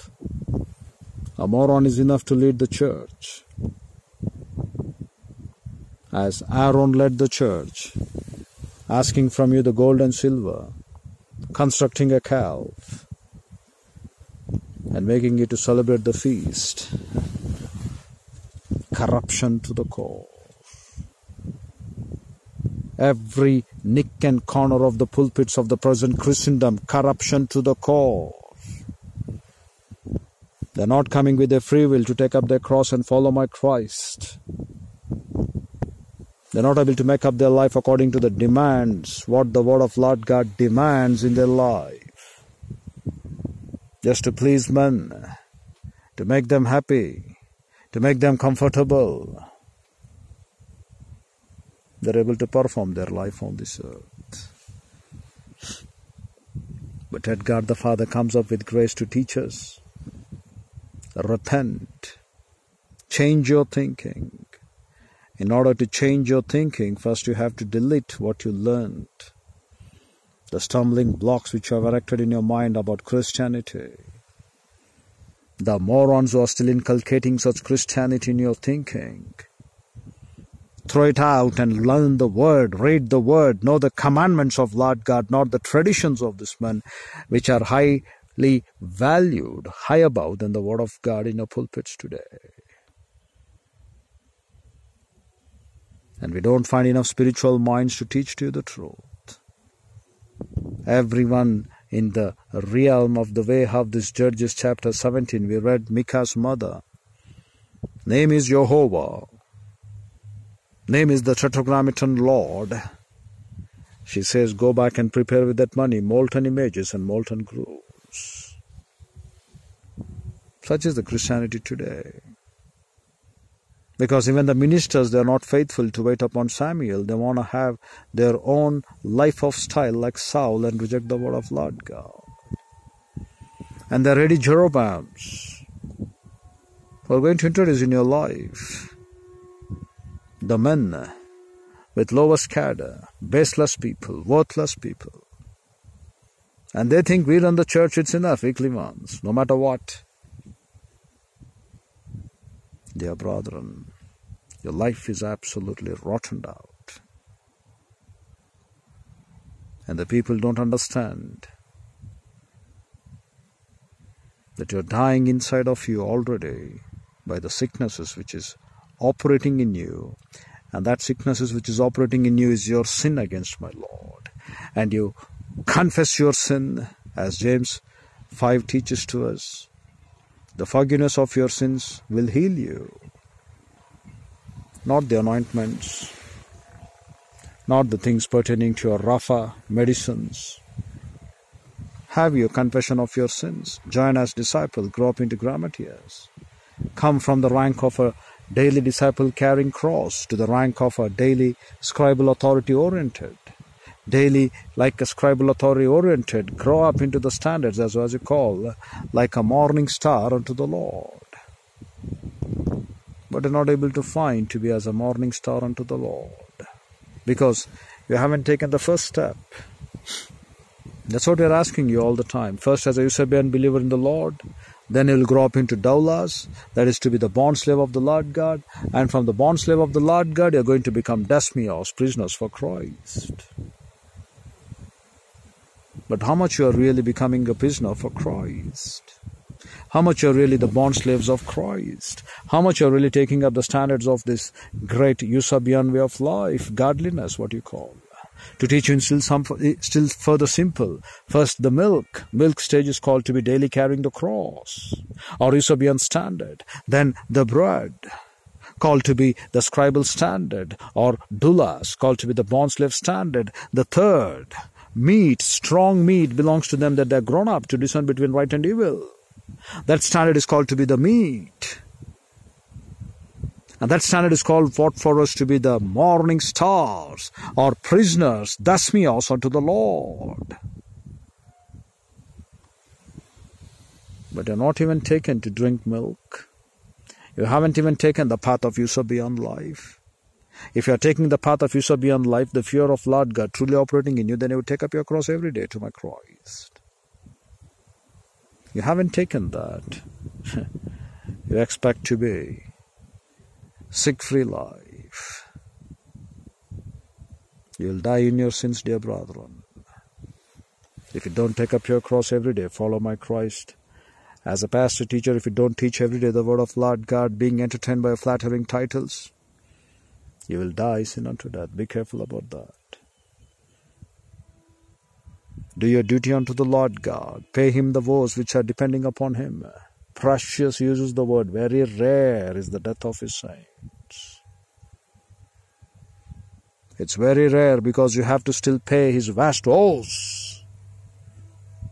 He wants every believer to be greater than Moses because the one who's been born greater in the human of the Old Testament, he claims John the Baptist, but greater than that, now who's been born least in his kingdom is far greater than John the Baptist. And if John the Baptist supersedes Moses, then how much more faithful you have to live your life for 120 years on this earth, fulfilling each and every vow of Lord God the Father. And why will it not be counted precious to be in the sight of Lord God, the death of his saints? And these saints have fought a good fight. This saints they have done the things pertaining to Lord God to the highest. You are not able to become a life like Job in Job chapter 29. Far less you can reflect now your life like Lord and Savior Jesus Christ, wherewith you have been given that potential, that caliber, Ephesians 4:13 and following to have the same thinking like the thinking of my Lord and Savior Jesus Christ. The full measure stature wherewith you need to grow up in the Lord. How can you trample down your enemy under your feet? Until and unless the word of Lord God you come to dig and take every day the mind of Christ. Nothing further from the truth, nothing against the word of Lord God you can do on this earth to have a life fulfilled, to make your life for the fulfillment of Numbers 14:21. As truly as I live, said the Lord God, there is no need for my Lord God to swear upon himself. There is no need for my Lord God to bear your grievous iniquities upon him. Jeremiah 10:19. Because of you being indifferent towards the word of Lord God, he says, I swear as I live. Jehovah name itself exists. There is nothing needed for him to prove. That the earth will be filled with the glory of my Lord God. And it is for us to fulfill it as we trample down Satan at every breath of this life. When we walk in the fellowship of Lord God, the Holy Spirit, to fulfill our every facet of the cell of this body to be filled with the mind of Christ, the voice of the Holy Ghost. Then we can fulfill the earth with the glory of Lord God, referring back to your own individual life. And such men, many are called, few are chosen, will be in the list of this morning star. And they will spend their time to learn the greater glory, moving from glory to glory, the great true riches of this unsearchable riches, polypoikilos wisdom of God. Yeah, brethren, think over these issues and which way you want to go, you decide as we shall come back and continue tomorrow. As Lord God the Holy Ghost leadeth us to the praise of His glory in His matchless, marvelous, infinite grace. So, with our head bowed and eyes closed, the closing moments being dedicated to those who are without Christ, without hope, and without eternal life. Inaudible telling to Lord God the Father in the privacy of your soul that believe my Christ, my Lord, my rock, my Savior, that's the moment itself you shall have this eternal truth. This eternal truth for is so very simple. Believing Christ, you shall be saved. Whereas for the believer, the greatest matter is to grow up in grace and the knowledge of Bible doctrine, wherewith you shall learn to acquire to possess know the truth, the truth shall set you free. And for the pastor teachers, the greatest matter is to carry thon lagan, herald the word in season, and out of sin, because the diameter of witnesses for it have been called.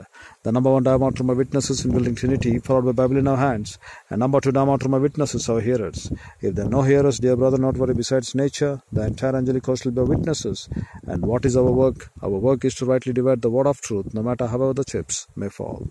So, which way you want to go, dear brother, and you decide, as we shall come back and continue tomorrow. As Lord God the Holy Ghost leadeth us to the praise of His glory in His matchless, marvelous, infinite grace.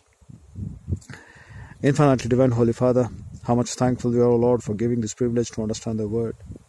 We pray the mentoring ministry of Lord God the Holy Ghost to make up our lives to realize that your Word itself is going to keep us vigor and valor till youth, till we die, so that we could know when your word or counsel is resting upon our tabernacles to make disciples of all the nations. So, Father, we pray the mentoring ministry of Lord God, the Holy Ghost, to enlighten and to challenge us by this message which you have given for us, though we don't deserve it, to realize and to understand how marvelous is the word for us, so that we could tread down upon our under our feet the things pertaining to Satan and the works of Satan, and make your word to be high above honored than our than our life, because it is what your word you have honored above your name. In Christ's matchless, purest, gracious name we pray, Father. May Lord God, the Holy Ghost, enlighten and challenge us by this message. We are thankful for this privilege, O Lord. In Christ's name we ask, Sovereign Lord. Amen.